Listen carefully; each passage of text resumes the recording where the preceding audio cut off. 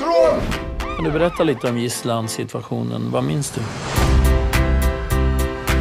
Skulle du kunna beskriva hur eh, gärningsmannen såg ut? Nej. Nej. Jag stirrar rakt ner på golvet. Den var lång eller kort? Jag, jag minns ingenting. Han hade både ölmage och alkisröv. Eh,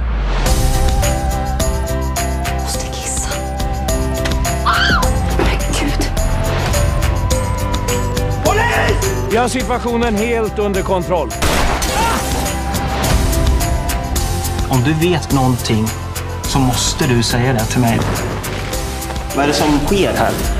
Jag, jag vet inte. Varför ser du ut sådär? Varför har du poliskläder på dig? För att jag är polis? Jag är kanin.